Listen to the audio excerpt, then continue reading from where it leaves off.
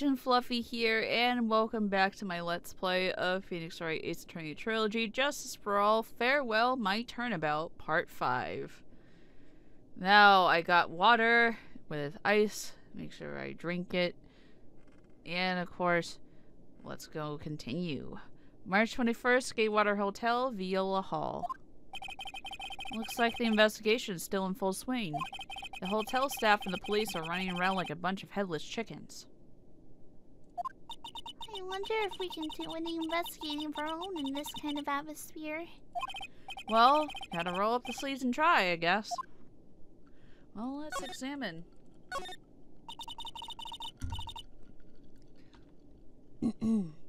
We ate this table last night, didn't we?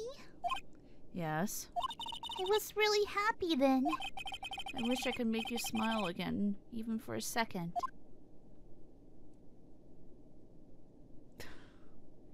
God, this lobster. This lobster is very phallic shaped. Like, god damn. But it, it, it's fine. This sure is one luxurious hotel. Almost to the point of gaudy with how it blends together with everything fancy imaginable. Speaking of fancy, didn't that bellboy give me something like that last year? The award ceremony. Oh, can I speak? The award ceremony was held on that stage just last night. It was really fabulous. It Just reminded me of the circus for a second. No, Pearl, do not remind me of that god awful case. I wonder if everyone is alright. I heard that Very Big Circus just recently started holding performances again. I'm sure they're all fine, Pearls. There's a grand set of doors over there. It's the doors Maya followed the bellboy out of, only to disappear. Only yet we had all gone together. oh, excuse me. Phew, excuse me. Let's go the hallway. oh, excuse me. I had some gumbo. March 21st, Gatewater Hotel, hallway. Hey, you're here! Been waiting for you, Mr. Lawyer. Lotta. Hey, Mr. Cop fella, face showed his face. W what? Arrest him! Put him on trial! Find him guilty! Give him the death penalty! Well, what's wrong, Lotta? Are you feeling alright? Look here and there up and down the mountain, but it ain't here. So why don't you hurry up and give it back to me, you creep? Looking for? My camera! C-A-M-E-R-A! It's my lifeblood! I'm gonna die without my $700 camera! Your camera? Look, don't lots of people say the criminal always goes back to the scene of the crime? And looky, looky, here you are. Yeah, here I am, faced with a lot of trouble. Huh? So you lost your camera? It ain't no ordinary camera. You buy it in the store and it's $1,600 brand new. Huh? But didn't you just say you bought it for $700? I had a nice long talk with the guy at the store. About five hours, I reckon. I made this itty bitty scratch on it, and the manager got all huffed up in the face. He gave me his talking to and was real mean about it, too. He don't make me cry like that. When did you lose your camera? Last night, after the murder happened. Must have been when I was busy running around looking into things. That's when I lost out on my dear, darling, expensive sweetie. Lotta, what did you capture with that expensive camera of yours? I don't rightly know. I snapped a shot of anything that caught my eye. So I don't remember. And besides, I couldn't get anything from my big scoop. I wonder if Lotta's missing camera is even connected to the murder. Okay, Lotta's camera added to the court record. A very expensive item valued at $1,600. It was stolen around the time of the murder.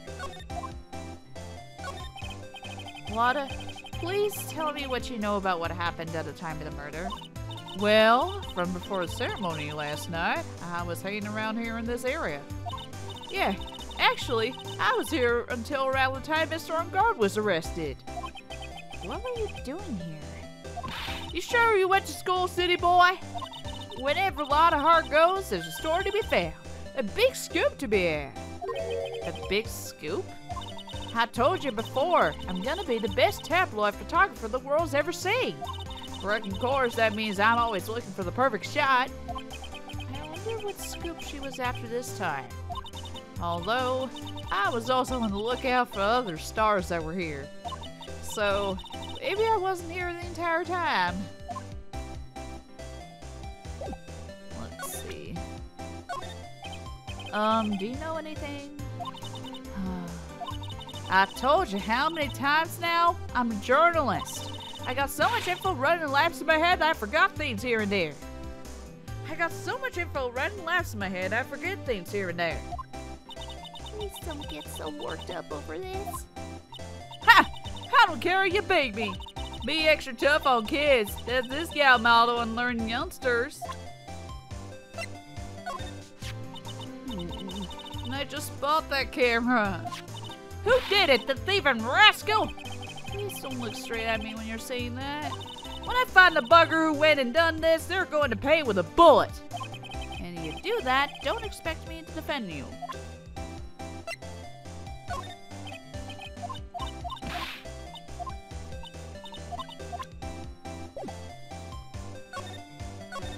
Lotta, are you sure you weren't here in the entire time? So you could take a picture for your big scoop?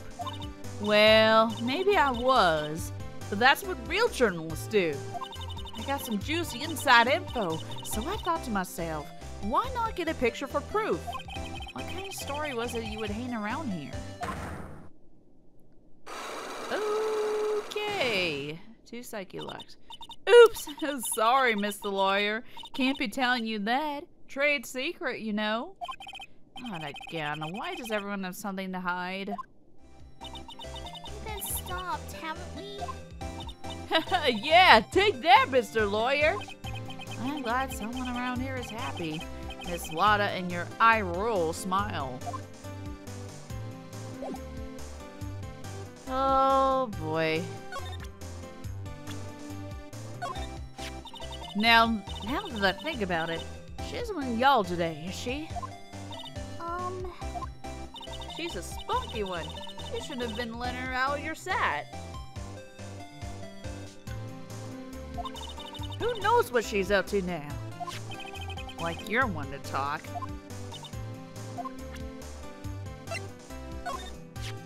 Uh, just want to say sorry to you. or Well, I really absolutely thought you were the murderer. huh? You know, last time that thing with Maya Fey. Well, well, what? But why? I mean, you were all worked up, you know? Meanie. Lotta, that was very insensitive of you.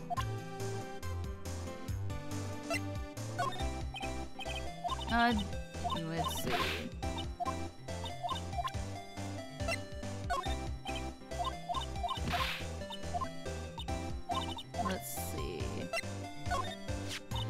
Kind of hairstyle is pretty hard to get, you know? Hard to care for, too. Just the other day, I ran my hand through my hair to fix it up. And suddenly, out pops this dollar coin. That's gotta be like hitting the jackpot. Wow, that's really lucky. Uh, what a deep conversation that was. Let's see. Don't really care for them heroes or whatnot. Oh, I see. And shows they got for kids, their adventures are plain old boring. Now, adults, we get more caught up in messy, sticky, real situations. Even me. Oh, Sounds like the tide's getting what I'm going with this. Well, wait a second here. Don't go around getting her mixed up in things like that.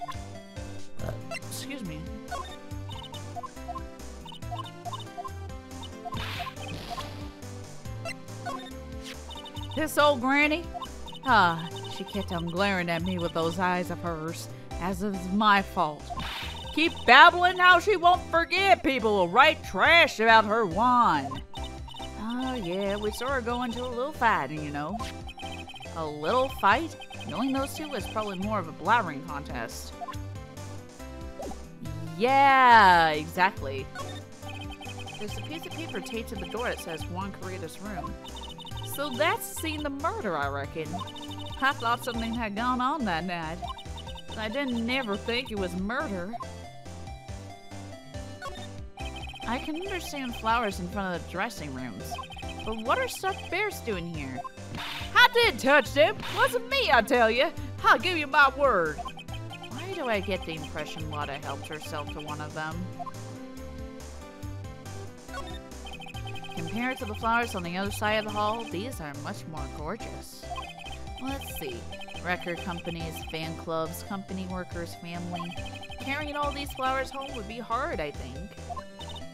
Yeah, that's what I thought too. So I was nice enough gal to lend a helping hand. Let me just move the mic down just a little smidge. So I can at least see. Secretly, of course. I have a feeling one of these days I'm going to end up defending her in court. To Mr. Engarde from the Global Studio staff. Ah, it'd be nice if lawyers got flowers too. Something like, to Mr. Wright for all your grateful clients. From all your grateful clients. Here's a piece of paper taped to the door that says Matt Engarde's room. So Mr. Engarde was here during this break, right? That's what he claims. Hmm, the crime scene. If he had wanted to get to Mr. Corrida's room, he would have had to pass through this hallway. There are toilets in each room of this hotel, but since all sorts of events are held here, there are bathrooms for people who aren't staying here to use as well. Perfect for people like me who can't afford to stay here in the first place.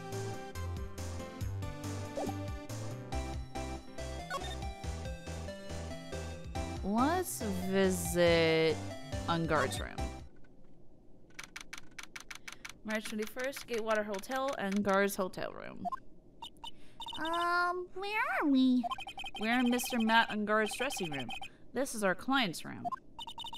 May I help you with something? May I help you with something? Bleh. That's a girl's voice. May I help you with something? Um, uh, where? You're Mr. Engarde's lawyer, correct? I gathered as much. I also looked for lawyers on my end, but to no avail. Um, how did you know I'm his lawyer? You were just saying that he is your client. In a situation like this, the only person who would use such a word would be his lawyer. Wow. It's a simple deduction, really. The trial is tomorrow, and Mr. Engarde's situation is looking rather grim. So you came here, one stop in your mad dash, to find clues to build his case, correct? So you came here, one stop in your mad dash, to find clues to build his case, correct? Well, you're not totally right, but you're not totally off either. It's really not the time to be showing off, Mr. Nick. I am Adrian Andrews. I hate to waste time, so let's get down to business. Uh, all right. She may be a small stature, but appearances can be deceiving. I assume the first thing you need to know is what everyone was doing that night, correct? Y yes, that is correct. Then I will tell you. Before the award ceremony, I had dinner with Mr. Engarde. In this very room, I might add.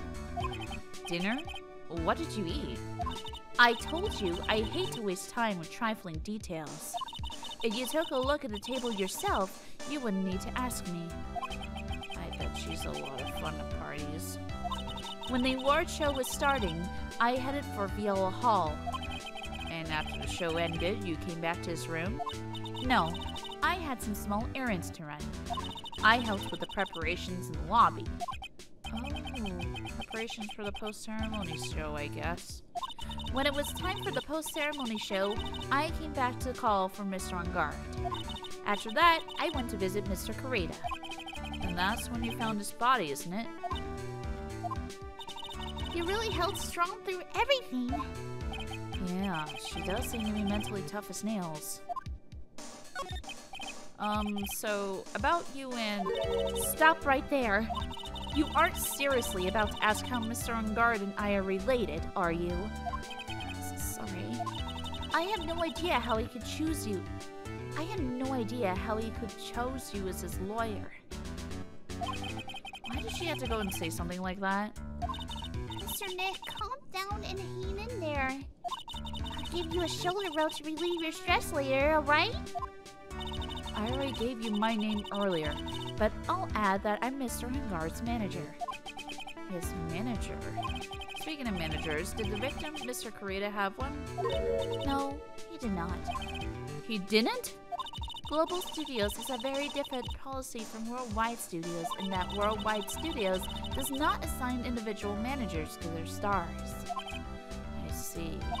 This industry is very ruthless and unforgiving. Actually, you look quite ruthless and unforgiving yourself to your poor partner. Dragging a little girl like her to places like this, honestly. You're wrong. I, I'm doing this to help Mr. Maya. Girls, calm down and hang in there. I'll buy you a juice later, alright?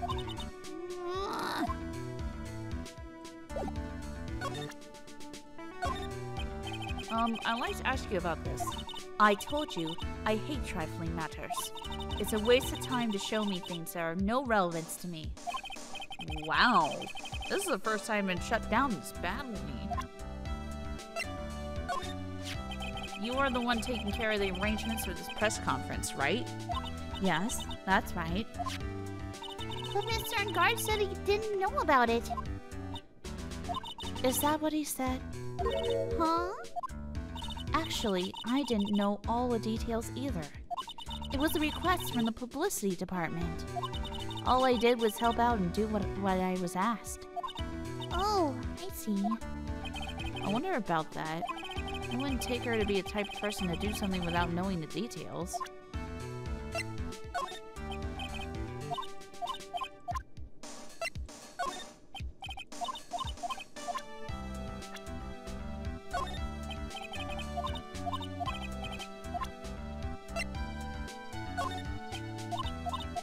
Man.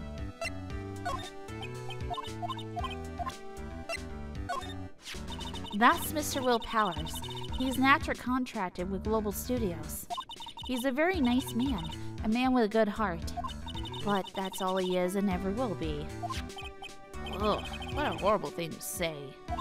Society doesn't care about genuinely nice people, Mr. Wright. Huh? For a second, her face twisted in pain. I wonder if Something. I wonder if something happened to Miss Andrews.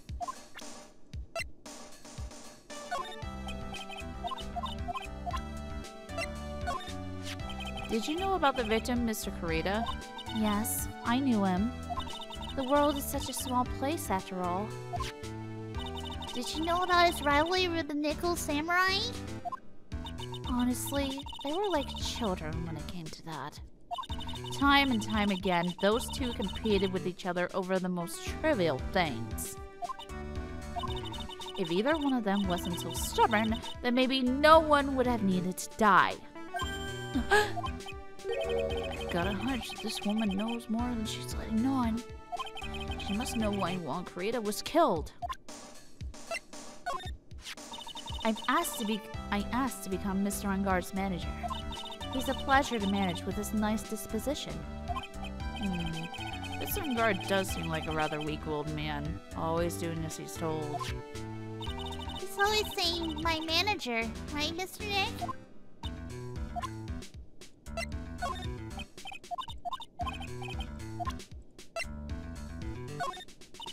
I hate talking about myself. It's a trifling matter, that's why. Take away that layer of sarcasm and she really does seem to hate herself. Let's see. It's probably Mr. Engarde's suitcase. For someone who is only going to be here for the award show, this is a lot of stuff. Looks like he has about three days worth of clothes in here. Stars really are different from us, aren't they? There's some samurai looking clothes on the sofa here. Um, I think that jacket-looking thing is called a happi. Whatever it is, I'm sure something like that would make a great souvenir. Maya would be absolutely thrilled. Alright. We're gonna continue investigating in the next part of Mr. Engarde's hotel room and continuing on investigation.